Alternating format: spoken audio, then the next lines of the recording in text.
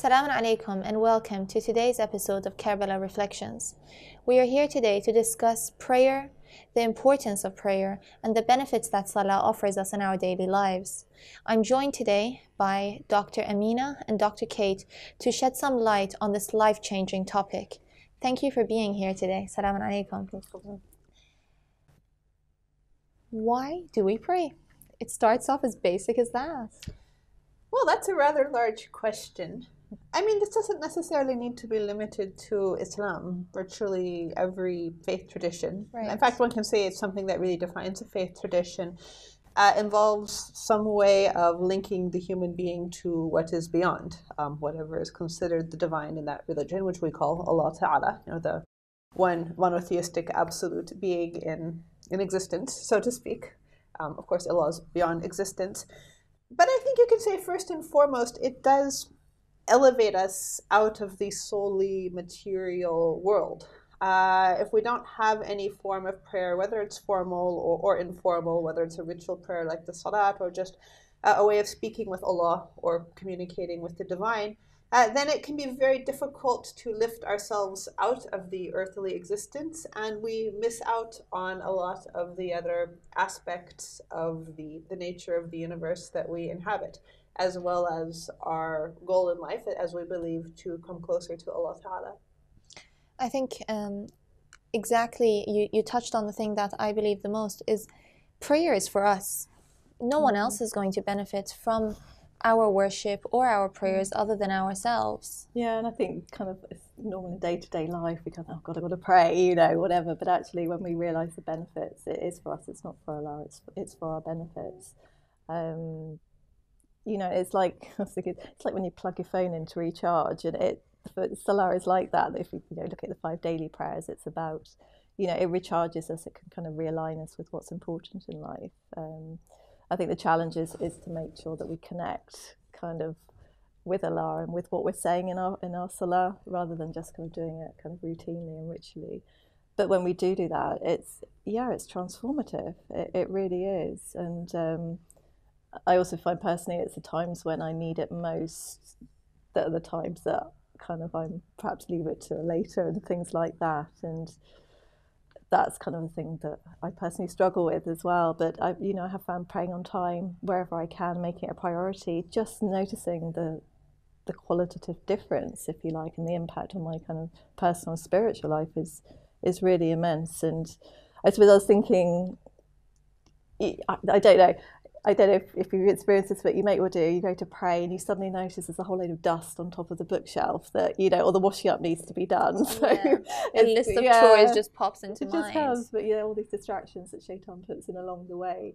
Um, and I suppose I was because of Muharram, I was reflecting on, and actually something that's kind of impacted me is even reading about kind of the lives of kind of the Prophet, peace be upon him, and what happened in Karbala. That during war they would always pray, you know, and subhanAllah, when your life is under threat, it, it doesn't matter. They would always stop to pray. And not just pray, pray on time. Yeah, pray on time. Islam has time, put a great emphasis on praying on time. Um, right at the beginning, right after the adhan. Uh, of course, we do have hadith uh, speaking of the, the blessings of praying at the beginning of the time. And and for many people, exactly like you said, it's a bit difficult. What would you say to someone who's finding it difficult to improve themselves in terms of the way they pray? You know, I think just kind of, I just wanted to kind of slightly expand a bit on what I was saying, you know, thinking of Karbala and when they were praying when, you know, Imam Hussein salam and family were under attack. They didn't just do that to be obedient, they did it to be obedient, but it would have given them something. When their lives were at, at you know, at stake, actually the salah, the prayer in that moment on time, would have given them the courage and the strength and the perception to know that actually what they're about to do will give their lives for. It doesn't matter because it, it's all for Allah. It would have given that spiritual strength. So, uh, and I think that's bringing it back to our daily lives. It's knowing the moment we're starting to, oh, I'll do it in half an hour or I'll do it after this cup of coffee. That's when we, we need to really like rein ourselves in. And I would say just just experiment. Literally, I, I mean, I was really bad and I'd always pray on time, but never at the beginning of time. And then, you know, I was really reflecting on the, the saying that the best good deed that you can do is to pray on time at the beginning of time. And actually, I, so I started doing it, and I just then started loving Salah and wanting to do it on time. And it, it, you just, if you, again, if you take that one step closer to Allah, He will then take 10 steps closer to you. And you just, you will feel the difference. Um, it doesn't become a chore anymore, it becomes something that you look forward to. Um, so I would just say people that are struggling, just try it as an experiment for a week. Try praying on time and notice. Observe if you notice any difference. Um, for some, uh, yeah, they, they they struggle with praying and praying on time, whereas for others, they they've kind of taken prayers into their own hands, wouldn't you say? Um, I've met many people personally who are, you know, Muslims. They don't go by the prayers that have been taught to us necessarily the five times a day, but they come and they say, well, you know what? Instead, I'm going to meditate or I'm going to thank God in my own way.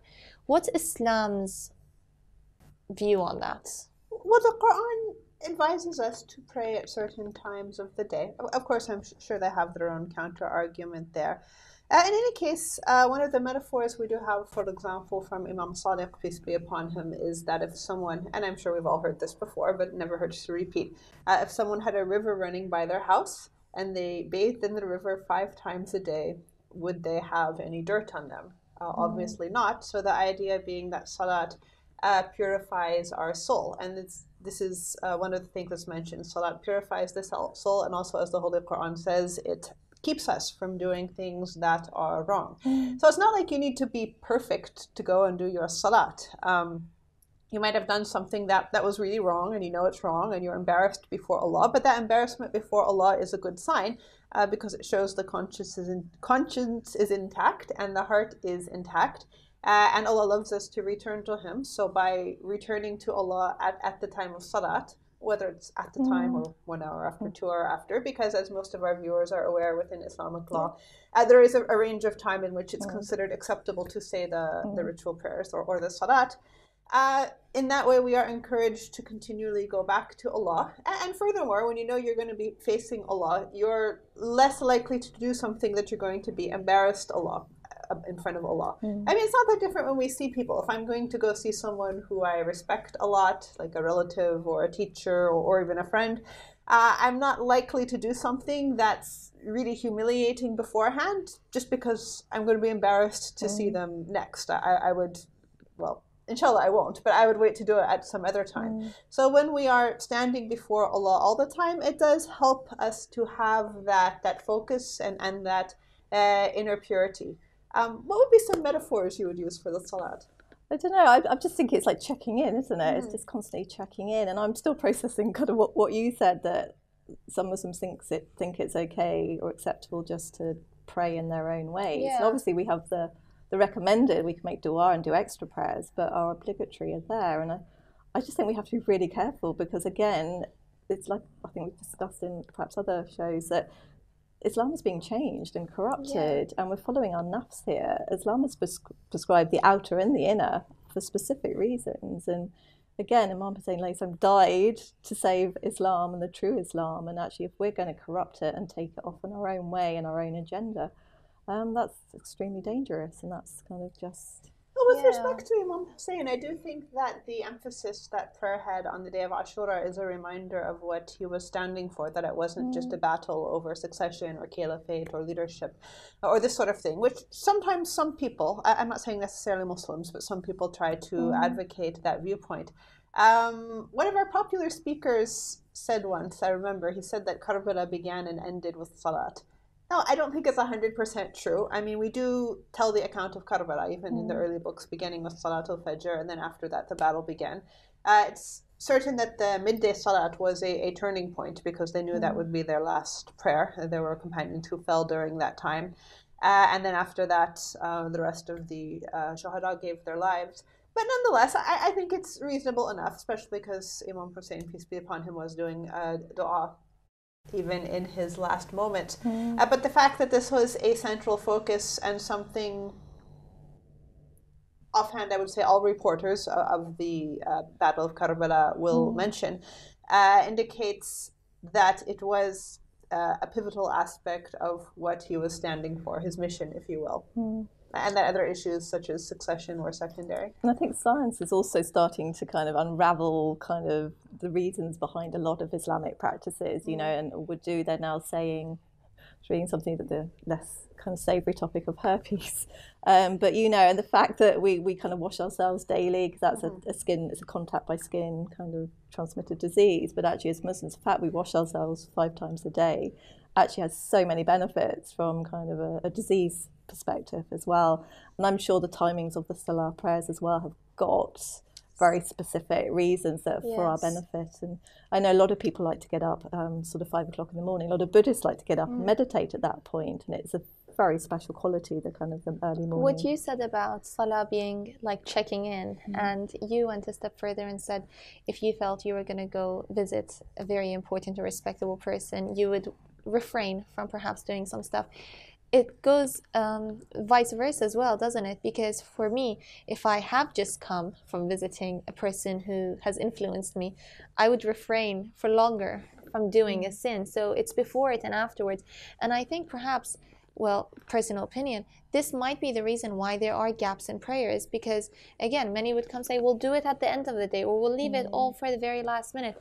But exactly how you said if we just give it a go the benefits mm. come to us without us having to go research them and seeing what it is that happens to us i think in general that's the case with mm. islamic practices there, there is of course a virtue to reading what ulama have said about why we pray why we do the takbir why we do ruku and, and the inner meaning so to speak but they also act on their own to shape a person so for instance if you're fasting you don't really need someone to tell you why you're fasting. Now, I know some people like to talk about it, but the idea is this is something you will experience firsthand and you will be shaped by firsthand, regardless of whether or not someone tells you why you are doing it. Sajda, for example, mm. uh, it's innate in the human being that this is a form of humbling and humility. Someone who's very arrogant is not going to do sajda ever to anyone or anything. Uh, so I do agree that these things act on us uh, simply as a sort of mechanism.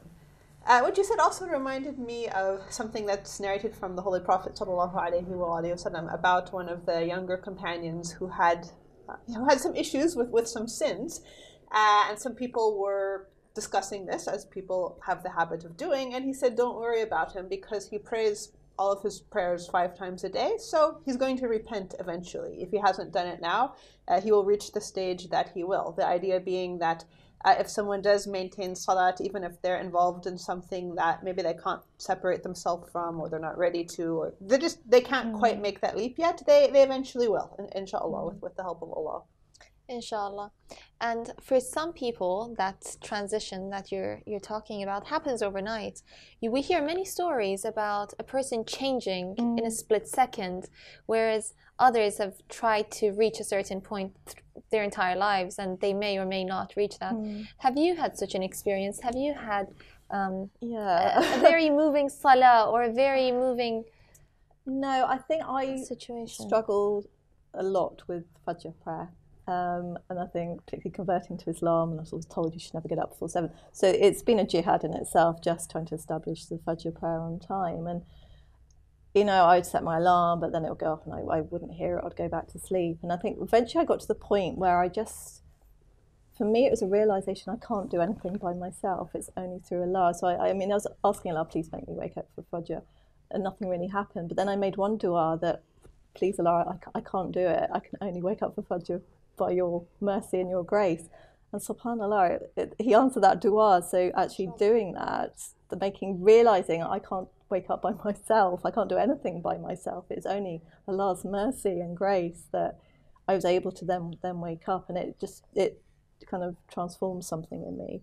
It goes um, ex- back exactly to what you said. You take one step towards Allah, yeah. you ask Him for His help, and He gives it. Yeah, and just knowing that we can do, we're nothing. We are literally nothing without Allah. We can't do anything by ourselves. And I think that realization that, that we are completely dependent on Allah and I think just reading a lot of the du'as by the Ahlul Bayt or Imam Sajjad salam, you know, they, they're pleading with Allah, they're asking for forgiveness. They are the most perfect human beings, yet they are the ones that are sort of asking for forgiveness of sins, highlighting how kind of we are nothing and of the most perfect of people are calling out what about the likes of us you know who mm-hmm. you know mm-hmm. and i think that's why we really have to scan ourselves for arrogance and ego and actually we are nothing we are yeah. nothing Have you had an experience you'd like to share? Um, I've heard it said, and I'm not quite sure what the textual or scriptural basis of this is. There may, in fact, be one that I'm not thinking of offhand.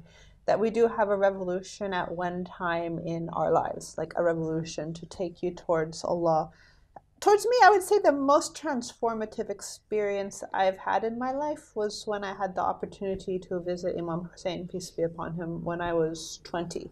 Uh, and that left a really lasting impact on my life and my direction in life, alhamdulillah. And that was a blessing from Allah. Uh, and that goes back to what you were saying that there is a sort of mutual relationship between the human being and the creator with respect to even something like carrying out religious deeds.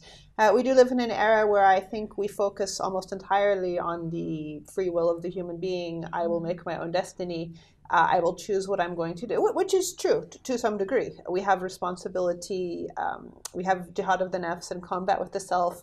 Uh, you do have a responsibility if you oversleep for Salat al Fajr, for example but there is also a tawfiq and, a divine blessing to be able to to worship, to be able mm. to reach out to Allah or to be able to repent. For example, it's said that even Yazid could have repented if he had genuinely wanted to, but he was not going to have the opportunity to ever do that because of what he'd done to himself. So while the doors to Allah are open, uh, there is some relationship between what we're doing in life that might facilitate coming closer to Allah or worshiping or developing that connection uh, versus things that we might do that might block it.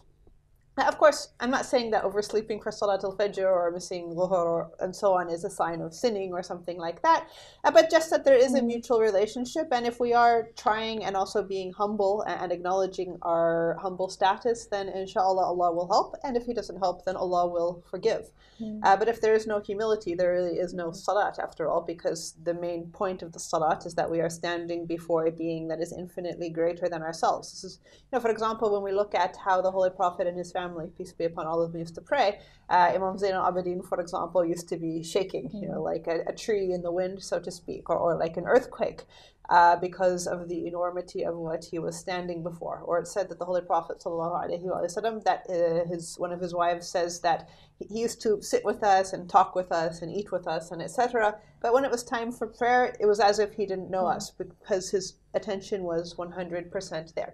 Now, of course, these are models and ideals. Not everyone is necessarily like that. Um, but the point being, these are things we can look at to be inspired inside ourselves. Absolutely. So that was definitely very inspiring. Thank you for sharing that. However, it's very easy to be sitting in a setting and hearing these stories and get so inspired and really decide in ourselves that I'm going to work harder. I'm going to take my prayers more seriously. I'm going to pray on time, starting right now.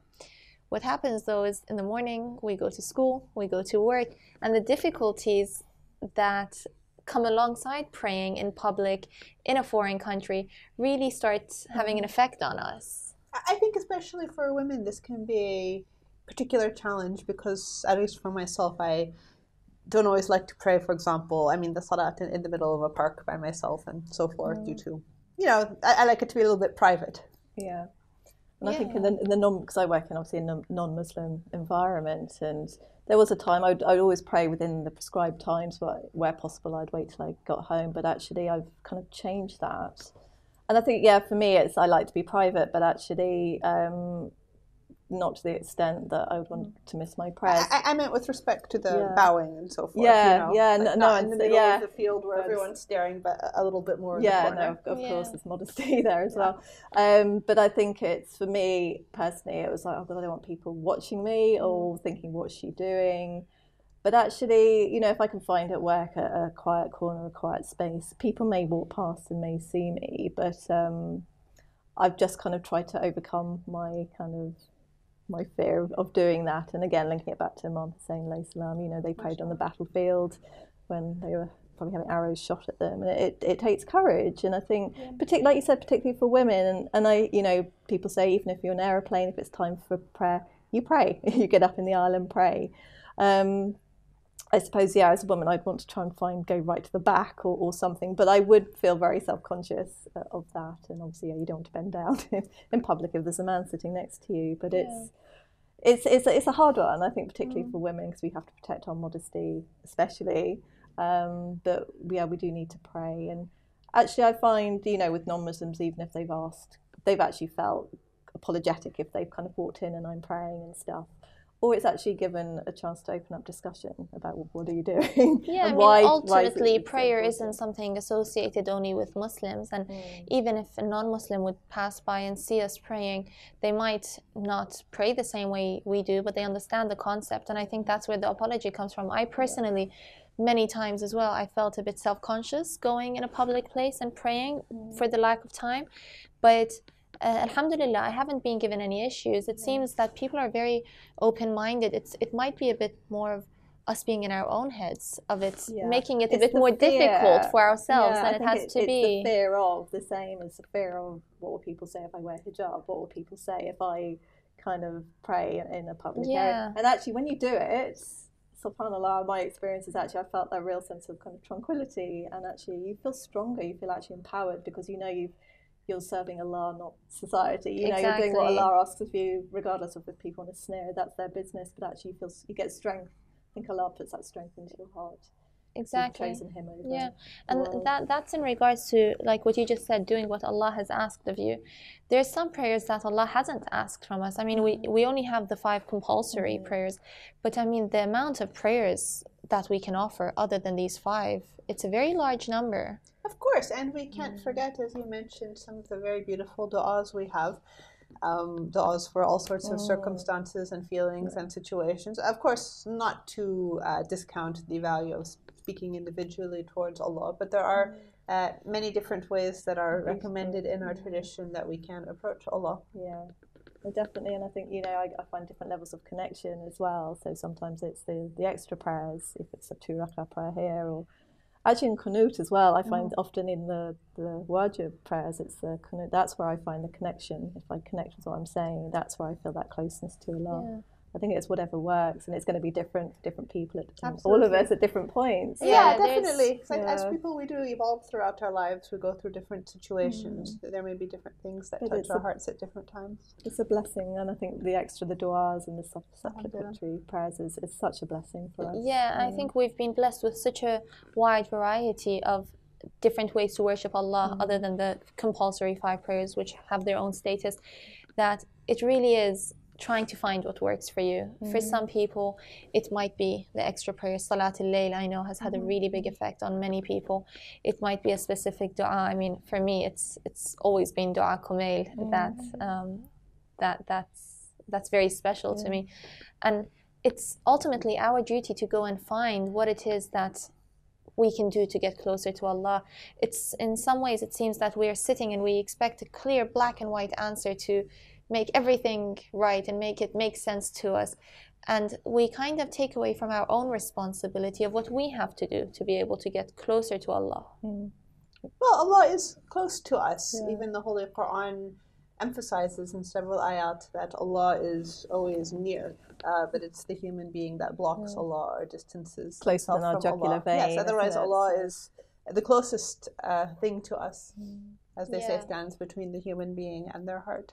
No, of course, but we can't take that for granted, just that Allah is close to us. I mean, personally, I still feel like I want to get closer. Mm. Even if He's closest to me, I uh-huh. want to get closer. Yeah, yes, of course. Yeah. It's just a reminder because I think sometimes we do conceptualize the human being as being very far from Allah. Obviously, there is a, a concept of nearness mm. to Allah in our tradition as well.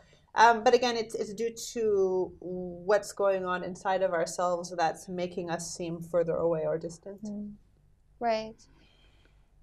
Thank you so much, Dr. Kate and Dr. Amina, for joining me today. I I learned a lot, especially the part about how the Prophet and how the Imams used to pray. I must say that um, it gave me goosebumps. Uh, thank you so much for sharing that. And thank you for sharing your own personal experiences. And thank you for joining us on another episode of Karbala's Reflections. Today's episode has been moving, to say the least. The importance of prayer, the benefits of prayer, and the effects of prayer on individuals and societies. Thank you so much, and we hope to see you soon. Assalamu alaikum.